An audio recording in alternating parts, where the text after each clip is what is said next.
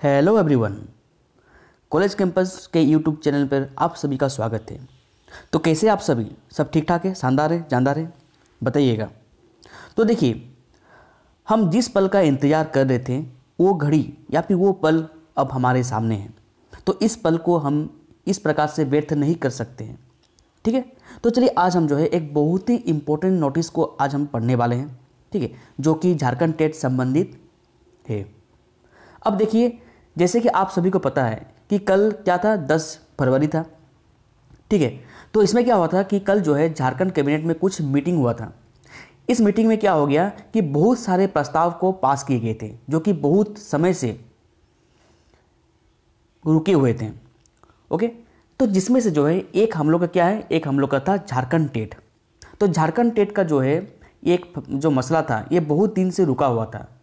यानी कि एक नया नियमावली की बनने की बात थी। एक्चुअली आप सभी को पता है कि 2019 में जो है रघुवत दास के समय झारखंड टेट संबंधित एक नियमावली बनी थी। लेकिन कुछ कारण से क्या हो गया था कि इसमें कुछ त्रुटियाँ पाई गई, कुछ दोष पाया गया, जिसके कारण इसे बदलना ज़रूरी था। ओके? और साथ ही साथ जो है झारखंड सरकार में जो 2019 में जब ये नियमावली बना था, यानी कि रघुवत दास के समय तो उसमें जो है ये बताया गया था कि भारत के कोई भी नागरिक जो है झारखंड टेट का एग्ज़ाम दे सकता था। जो कि एक मुझे लगता था कि वो थोड़ा सा कुछ त्रुटि थी उसमें। ठीक है? क्योंकि आप सभी को पता है कि बहुत सारे टेट में क्या होता है कि जैसे बिहार टेट हो गया, छत्तीसगढ़ टेट हो गया तो इसमें जो होता है, ज़्यादातर आप देख सकते हैं कि वहाँ के लोकल स्टूडेंट्स ही, ठीक है, स्थानीय लोग ही एग्ज़ाम देते हैं। तो ये भी जो था, झारखंड में भी इस प्रकार का रूल लाना ज़रूरी था, जो कि इस बार इस नियमावली में मुझे दिख रहा है।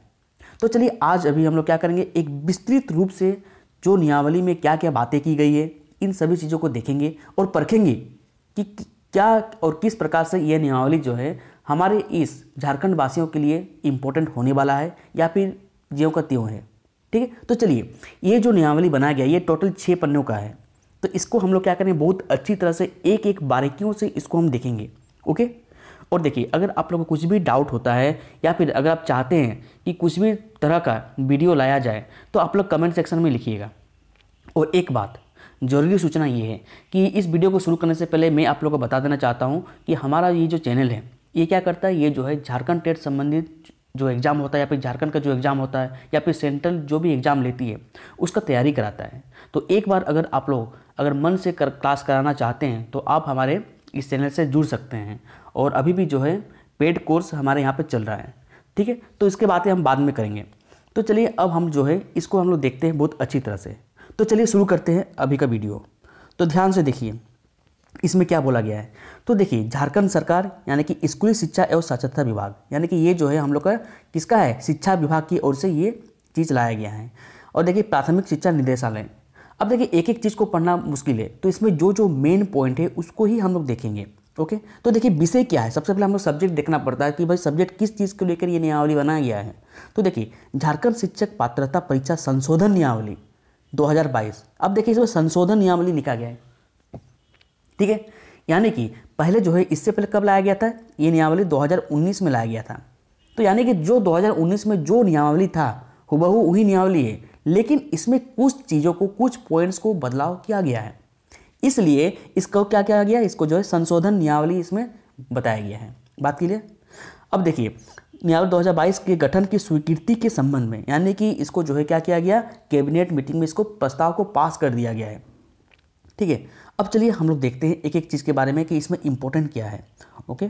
तो देखिए, आप सभी को पता होगा, ठीक है? आप सभी को पता है कि झारखंड जो है, ठीक है? जब से झारखंड बना है, गठन हुआ है झारखंड का, तब से केवल जो है क्या हो गया? हमारा केवल दो बार ही टेट हुआ था। कब कब हुआ था? तो एक हुआ था 2012-13 और एक हुआ था 2015-16 में हुआ था। सेशन ईयर में ओके तो लेकिन लेकिन आप लोग को पता है कि क्या होता है? राइट टू एजुकेशन एक्ट 2009 के अनुसार, जो कि 1 अप्रैल 2009 में क्या हुआ था? लागू हो गया था। इसको पास कराया गया था ओके और 2010 से ये लागू हुआ था। तो इसमें ये बताया गया था कि भाई, हर साल क्या करना है? स्टेट को, आपको टेट का एग्ज़ाम लेना है। लेकिन भाई, हमारा राज्य तो आपको पता ही है। अगर यहाँ पर जो है, कोई भी सरकार ठीक ढंग से पाँच साल नहीं टिक पा, पाता था तो कैसे आप लोग जो है ये लोग टेट लेंगे? ठीक है, ये भी बात एक तो आ रहा था। लेकिन क्या हुआ कि 2013 में एक एग्ज़ाम हो गया था झारखंड टेट का और 2016 में भी एग्ज़ाम हुआ था। ओके तो देखिए एग्ज़ाम के बाद क्या हुआ, क्या नहीं हुआ, उतना हम लोग को नहीं जानना है। बस हमें जो है ये नियमावली को देखना है। तो अभी तक कितना एग्ज़ाम हुआ है? झारखंड टेट का 2013 में हुआ था और 2016 में हुआ था। ठीक है? अब जो है, अब कब होने वाला है, इसके बारे में विस्तृत जानकारी लेंगे और खतियान संबंधित बातें भी हम लोग यहाँ पर बात में करेंगे। ओके अब देखिए क्या इसमें कहा गया है। अब देखिए, इसमें हर एक चीज़ के बारे में इसमें दिया गया है एक एक चीज़ के बारे में भी इसमें लिखा गया है, ओके? और देखिए, इसमें क्या कहा गया है? एक चीज़ इसको आपको देखना है अच्छा से देखना है। एक मिनट। अब देखिए, इसमें क्या लिखा गया है? इसमें देखिए, ध्यान से इसको देखने की ज़रूरत है। इसमें क्या लिखा गया है भाई? इसमें लिखा गया है कि ये जो झारखंड टेट का जो एग्ज़ाम होगा, ये केवल एक अंक परीक्षा है। ठीक है, यानी कि इसमें अगर आप लोग पास करते हैं तो आप सरकार को ये नहीं बोल सकते हैं, ये डिमांड नहीं रख सकते कि आपको जॉब देना ही पड़ेगा। बात को क्लियर से समझो। क्या बोला गया है? इसमें बोला गया कि केवल मात्र एक अहंग परीक्षा है, यानी कि बस एग्ज़ाम लेना है इसमें। सरकार चाहे तो क्या कर सकती है? डायरेक्टली आप लोग को नियुक्ति कर सकती है, ये है, या फिर कुछ अलग एग्ज़ाम भी करवा सकती है। तो इसमें जो है आपको सरकार का साथ देना पड़ेगा। ऐसे नहीं कि मुँह उठा के चले जाइए और आंदोलन करें। ठीक है, ये बात नहीं करना है। ओके, अब एक चीज़ ध्यान से देखिए। अब आप लोग के मन में ये आ रहा होगा कि क्या बी वालों के लिए क्या होना चाहिए? या फिर जो प्राइमरी बच्चों के लिए प्राइमरी टीचर के लिए क्या होना चाहिए? ये सब भी हम लोग अच्छी तरह से देखेंगे। ठीक है? लेकिन अब देखिए, आप लोग को पता है कि जो भी झारखंड टेट होता है, ये दो चरणों में होता है। पहला क्या हो गया? पहला हम लोग का हो गया प्राथमिक हो गया, और दूसरा होता है उच्च प्राथमिक। अब प्राथमिक का मतलब क्या होता है? प्राथमिक का मतलब होता है भाई वन टू फाइव क्लास के लिए। ठीक है? लोअर प्राइमरी इससे करते हैं, और हायर प्राइमरी की बात करेंगे तो ये होता है सिक्स टू एट ओके तो आप सभी को ये पता है कि वन टू फाइव कौन कर सकते हैं? ये कर सकते हैं जो डी एल एड वाले कर सकते हैं, ठीक है? D E L E D या फिर बी टी सी जो भी कोर्स आप लोग जानते हैं ओके और सिक्स टू एट भी जो है डी एल एड वाले कर सकते हैं, लेकिन क्या होना चाहिए? लेकिन उनको जो है ग्रेजुएशन आपका पूरा होना चाहिए, तभी आप लोग सिक्स टू एट का एग्ज़ाम में बैठ सकते हो। लेकिन इससे पहले क्या होता था कि जो भी बी एड वाले बच्चे थे, ध्यान से सुनिएगा, जो भी बी एड वाले बच्चे थे, वे जो है सिक्स टू एट का एग्ज़ाम में नहीं बैठ सकते थे। लेकिन क्या हुआ कि 2018 में, ठीक है, दिनांक देखिए यहाँ पर लिखा गया है, दिनांक कब? 28 छः 2018 में माननीय सुप्रीम कोर्ट ने क्या कहा था? इन्होंने कहा था कि बीएड वाले बच्चे भी क्या कर सकते हैं? जो है सिक्स टू एट वाले जो एग्ज़ाम होता है, ठीक है, कोई भी टेट का, इसमें वे बैठ सकते हैं या फिर सम्मिलित हो सकते हैं, ओके? अब देखिए तो यानी कि अब आप लोग बोलेंगे कि बीएड वाले बच्चे क्या सिक्स टू एट का एग्ज़ाम दे सकते हैं? हाँ वो तो दे सकते थे, लेकिन उसके साथ ही साथ कक्षा एक से पाँच तक का जो एग्ज़ाम होता है, उसमें भी वे क्या कर सकते हैं? सम्मिलित हो सकते हैं। यानी कि अब जो है वन टू फाइव जो पहले केवल और केवल किसके लिए मान्य था केवल और केवल डी वालों के लिए मान्य था अब क्या हो गया? अब जो है ये इसमें बी वाले बच्चे भी इसमें बैठ सकते हैं। बात क्लियर अब देखिए, अब क्या है कि अगर आप लोग जो है झारखंड टेट पास कर जाते हैं तो इससे पहले हम लोग का जो झारखंड टेट पहले होता था, यानी कि जो 2013 में हुआ था, फिर 2016 में हुआ था तो इनका जो मान्य अवधि था कितना साल था? ये था पहले पाँच साल था। ठीक है, फिर बाद में बढ़ाकर इसको सात साल किया गया। लेकिन आप सभी को पता है कि केंद्र सरकार क्या किया है? केंद्र सरकार जो है, जो भी टेट का एग्ज़ाम होगा, उसका जो वैलिडिटी कर दिया है, वो आजीवन कर दिया है। क्या कर दिया? आजीवन कर दिया है। तो इसके तर्कसंगत क्या करना पड़ा? झारखंड टेट को भी ठीक है, यानी कि जो भी झारखंड टेट का एग्ज़ाम होगा, उसको भी क्या कर दिया गया है? जो वैलिड होता है, जो सर्टिफिकेट का जो वैलिड होता है, जो यानी कि आप टेट पास हो, उसका क्या कर दिया है? इसको भी जो है ये लोग आजीवन कर दिया यानी कि अभी जो है आप लोग का जो टेट का जो वेरिफिकेशन होगा, ठीक है, वो लाइफ टाइम हो जाएगा। ठीक है लाइफ टाइम हो गया यानी कि अब पाँच साल और सात साल का कोई फ़र्क नहीं है, अब केवल लाइफ टाइम हो जाएगा। यानी कि अगर आप लोग एक बार टेट पास करते हैं तो इसका वैलिड कितना होगा? इसका वैलिड जो है आपका लाइफ टाइम अभी हो जाएगा। बात क्लियर हो चुका है? अब चलिए हम लोग कुछ जो है झारखंड सरकार के कुछ अधिसूचना को हम लोग देखते हैं। ठीक है, अधिसूचना में क्या बताया गया है और इसमें क्या क्या है, ये सबको देखेंगे। तो देखिए, इस अधिसूचना में ये बताया गया है, ओके, कि ये नियमावली जो है झारखंड शिक्षक पात्रता परीक्षा नियमावली 2022 कही जाएगी। बात क्लियर है? दूसरा नंबर पॉइंट में लिखा गया है कि इसका विस्तार संपूर्ण राज्य में होगा, जो कि सबसे इंपॉर्टेंट पॉइंट है।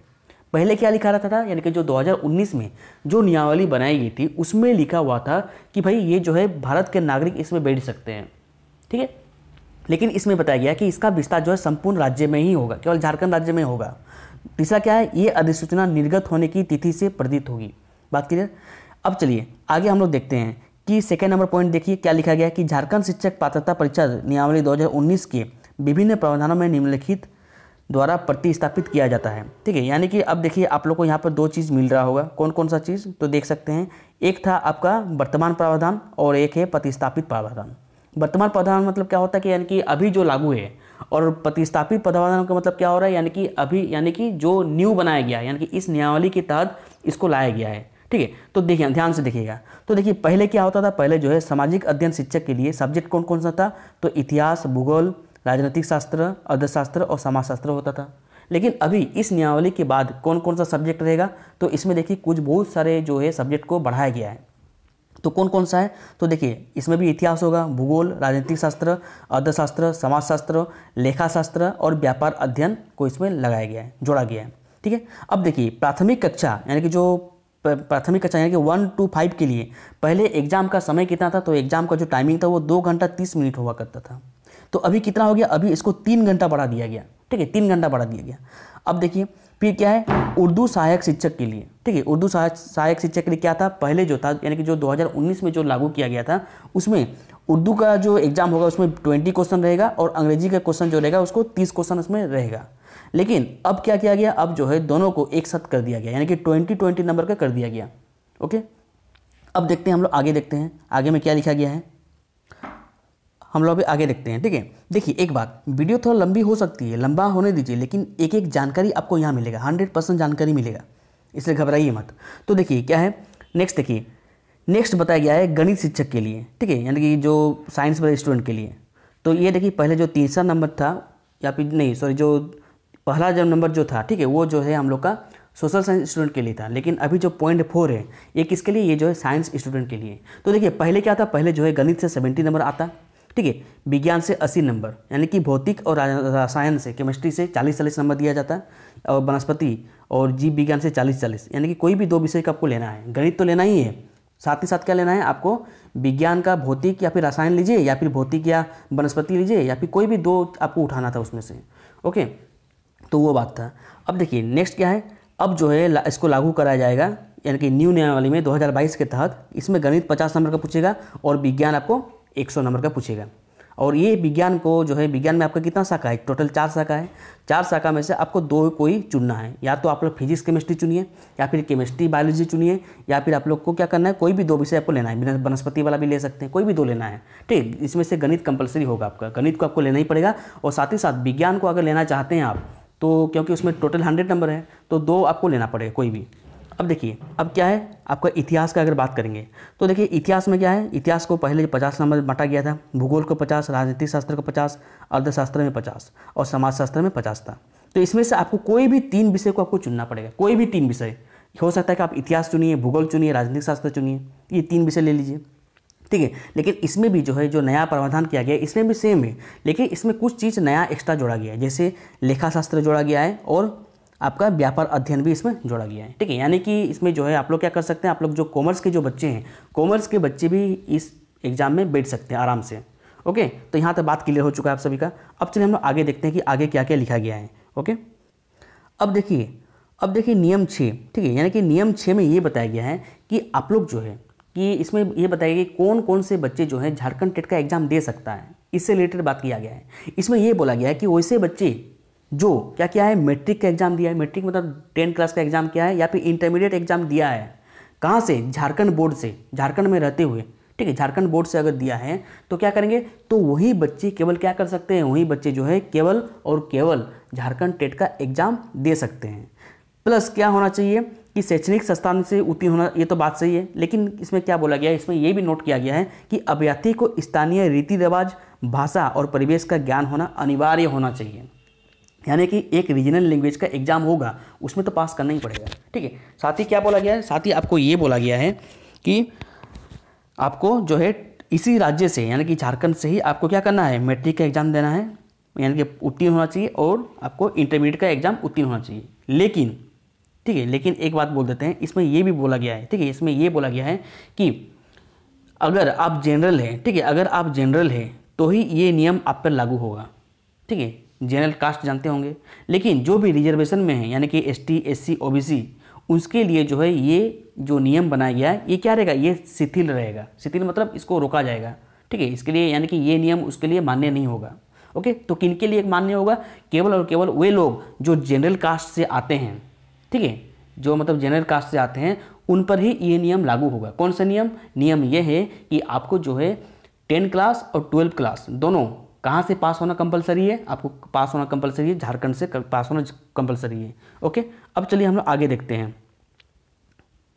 अब हम लोग देखते हैं नियम सात को देखते हैं। ठीक है? नियम सात में क्या बोला गया है? ये हम लोग देखते हैं। तो देखिए, नियम सात में जो है, हम लोग को कितना प्रतिशत अंग लाने से हम लोग पास होंगे, ये सब चीज़ के बारे में बताया गया है। तो देखिए, सामान्य जाति में क्या क्या गया है? सामान्य जाति का जो है, इसमें जो प्रत्येक खंड, देखिए, इसमें एक चीज़ इस पर नया लाया गया है, एक नया जोड़ा गया है कि आपको जो है क्या करेगा आपको जो है हर एक सब्जेक्ट में पास करना कंपलसरी है। तो देखिए, पहले जो भी एग्ज़ाम होता था, उसमें केवल ओवरऑल पास आपको होना था सिक्सटी परसेंट में।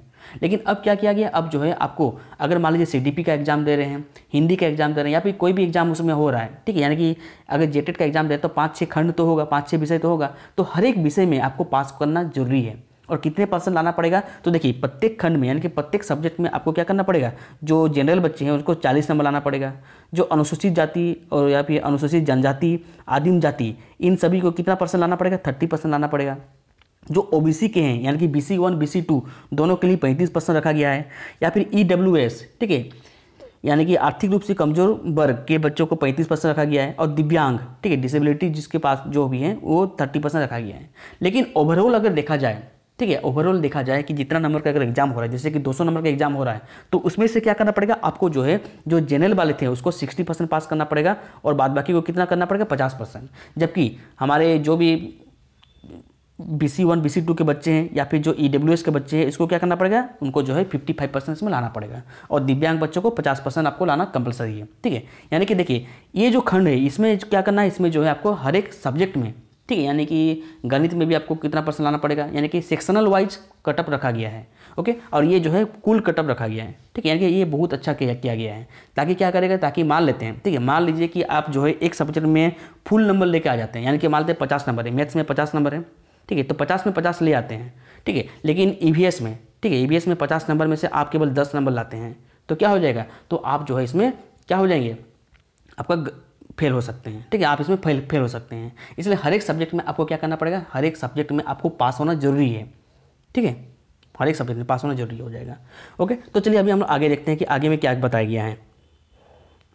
अब देखिए, आठवां नंबर पॉइंट में देखिए, आठवां नंबर पॉइंट में लिखा गया कि पहले जो ये सात साल का था, अब क्या हो जाएगा? अब जो है ये आजीवन हो गया है। ठीक है? पहले कितना साल से था? सात साल के बदले अब आजीवन रहेगा। ये तो बात हम आपको पहले से ही कर चुके थे।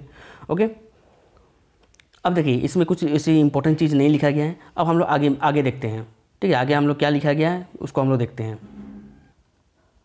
अब चलिए, हम लोग जो है, कुछ क्या करते हैं सिलेबस को देख लेते हैं। कि कहाँ से कितना नंबर का क्वेश्चन पूछा जाएगा? ठीक है वन टू फाइव और सिक्स टू एट दोनों को देखेंगे। कितना नंबर पूछा जाएगा, कौन सा सेक्शन में कितना नंबर रहेगा टोटल नंबर कितना रहेगा टोटल टाइम कितना रहेगा, ये सब। ठीक है तो देखिए, ये है हम लोग का वन टू फाइव के लिए।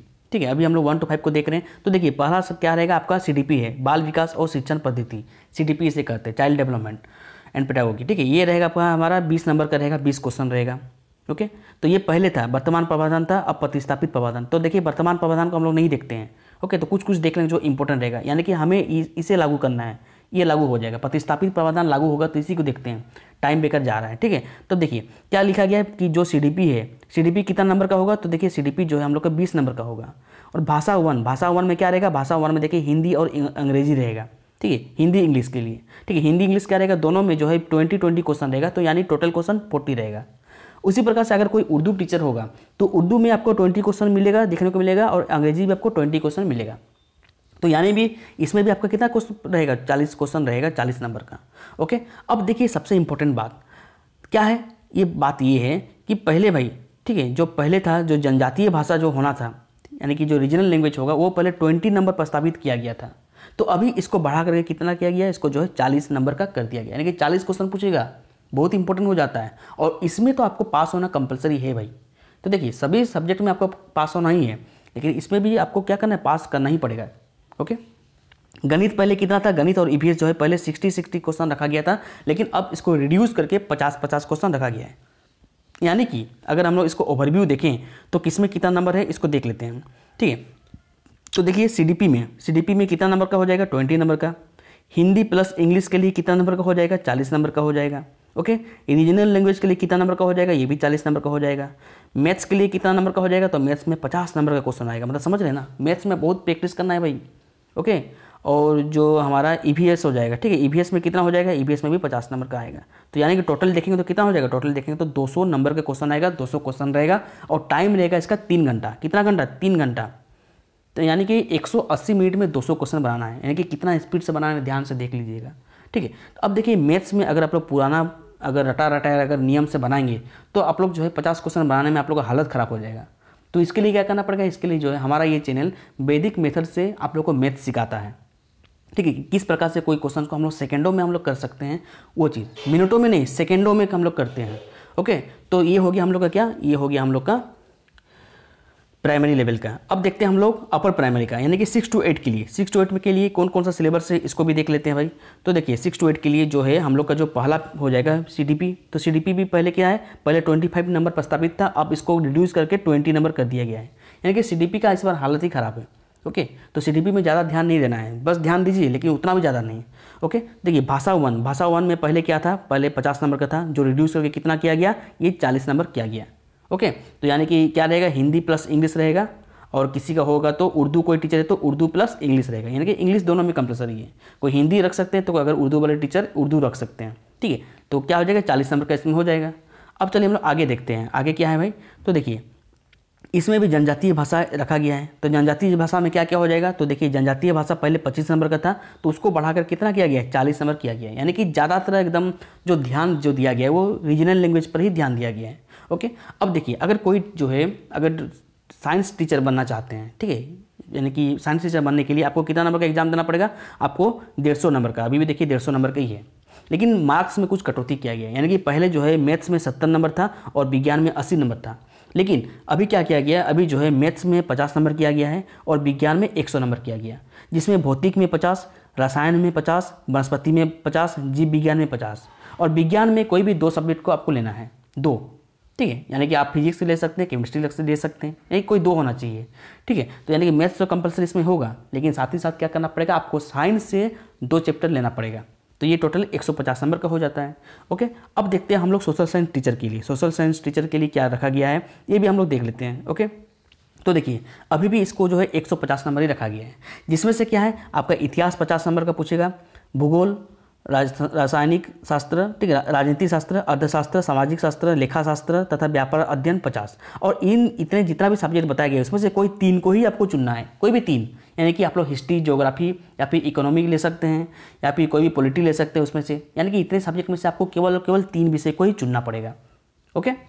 अब देखिए, अब क्या है भाषा शिक्षक के लिए यानी कि कोई अगर जो है हिंदी में ऑनर्स किए हुए हैं, या फिर कोई इंग्लिश में ऑनर्स किए हैं ओके तो उनके लिए ये बात बताई गया है। तो उनके लिए क्या करना पड़ेगा? उनके लिए जो है, जो भाषा टीचर के लिए अंग्रेज़ी पचहत्तर नंबर का आएगा और आपको जो है हिंदी, संस्कृत या फिर उर्दू या फिर कोई भी अन्य सब्जेक्ट में आपको पचहत्तर नंबर का पूछेगा। यानी कि अगर आप क्या किए हैं? अगर आप जो है हिंदी ऑनर्स किए हैं तो क्या करेंगे? आपको तो इंग्लिश तो आपको देना ही पड़ेगा पचहत्तर नंबर का एग्ज़ाम प्लस हिंदी में आपको पचहत्तर नंबर आपको देना पड़ेगा। ठीक है, उसी प्रकार उर्दू टीचर के लिए क्या करना पड़ेगा? हिंदी की जगह में उर्दू का एग्ज़ाम देगा वो। इस प्रकार से पचहत्तर प्लस पचहत्तर कितना हो जाएगा? डेढ़ नंबर का इसमें एग्ज़ाम हो रहा है। ओके? यहाँ तक बात सभी को क्लियर हो चुका है। अब देखिए, इसमें क्या बोला गया है? इसमें ध्यान से देखिएगा। देखिए, इसमें बोला गया है कि क्षेत्रीय या जनजातीय भाषा की परीक्षा में परीक्षार्थी से ये अपेक्षा होगी। ठीक है? परीक्षार्थी से ये अपेक्षा होगी। कौन सा अपेक्षा होगा भाई?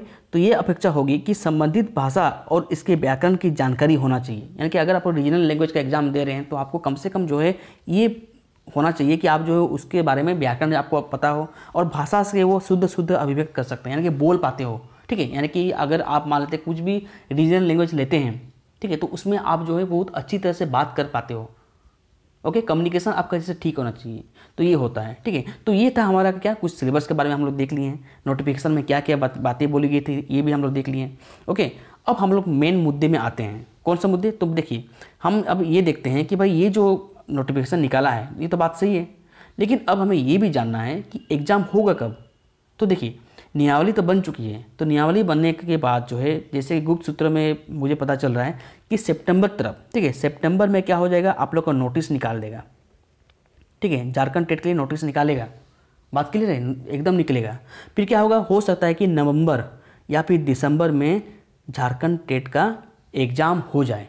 लेकिन इससे पहले मुझे ये भी लग रहा है कि जो छब्बीस हज़ार जो टीचर का भाग का जो वैकेंसी आने वाली है, जो 2013 और 2016 के लिए जो बच्चे पास हो चुके हैं, ठीक है, उनके लिए ये वैकेंसी लाई जाएगी, उन लोग को भरा जाएगा, ओके? तो ये भी एक बात है, ये भी एक पॉइंट आ रही है, ओके? अब देखिए, इसमें एक बात आ रहा है कि क्या खतियान वालों को कुछ लाभ मिलेगा या फिर नहीं मिलेगा? बात क्लियर जो खतियान वाले हैं तो उनको क्या लाभ मिल रहा है इसमें? तो देखिए, पहले ये बोला गया था कि जो जिसके पास 1932 या फिर उन्नीस के खतियान होगा, वही क्या कर सकते हैं? झारखंड में नौकरी ले सकते हैं। लेकिन इस नियावली में ये खतियान के बारे में कुछ बातें नहीं की गई है।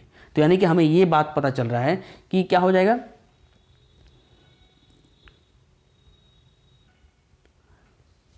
कि अब जो भी नियावली बना है, ये क्या हो रहा है? ये जो है हमारा एग्ज़ाम रिलेटेड बना है। जैसे कि अगर कोई स्टूडेंट है, ठीक है? कोई अगर स्टूडेंट ने क्या किया है? अगर वो टेन का एग्ज़ाम दिया है और साथ ही साथ ट्वेल्व का एग्ज़ाम दिया है, कहाँ से? झारखंड से। वही केवल क्या कर सकते हैं? वही जो है केवल हमारे इस जेटेड का एग्ज़ाम में क्या कर सकते हैं? वो लोग सम्मिलित हो सकते हैं, अन्यथा नहीं हो पाएँगे, ओके? लेकिन आप लोग को ये भी हो सकता है कि आपको पूछा जाए, ओके, कि आप लोग का जो है यहाँ का स्थानीय निवासी है या फिर नहीं है, इनके बारे में भी देखा जाएगा। क्योंकि आप लोग जानते होंगे कि जनरल बच्चे जो है, ओके, जिस जो जनरल बच्चे हैं, उनको एग्ज़ाम में वंचित कर दिया जा सकता है कि अगर वे जो है टेन और ट्वेल्व का एग्ज़ाम नहीं देते हैं तो। लेकिन यहाँ के जो स्थानीय निवासी है तो स्थानीय निवासी किस आधार पर बनाया जाएगा, ये भी सरकार सोच रही है कि 1932 से बनाया जाए या फिर उन्नीस सौ चौंसठ से बनाया जाए या फिर 1985 से बनाया जाए। ठीक है तो इन संबंध इन सब चीज़ों के बारे में आप लोग भी अपना राय दे सकते हैं हमारे इस कमेंट सेक्शन में। बात क्लियर है? तो चलिए, इस वीडियो में बस इतना ही। ठीक है अधिक जानकारी के लिए झारखंड टेट से संबंधित कुछ भी अगर एडमिशन प्रोसेस के लिए जानकारी चाहिए तो डिस्क्रिप्शन में कुछ नंबर दिया गया है, उसमें आप जो है व्हाट्सएप के माध्यम से आप अपना पता कर सकते हैं ओके तो चलिए हम लोग आगे मिलते हैं, और अगर आप लोग को कुछ भी अगर डाउट हो रहा है तो आप लोग क्या करेंगे? आप लोग जो है कमेंट सेक्शन में आइए और अपने बातों को रखिए ओके और हम अति जल्दी आप लोग को जो है रिप्लाई करने की कोशिश करेंगे। तो चलिए, आज के लिए इतना ही, सभी को धन्यवाद, जय हिंद।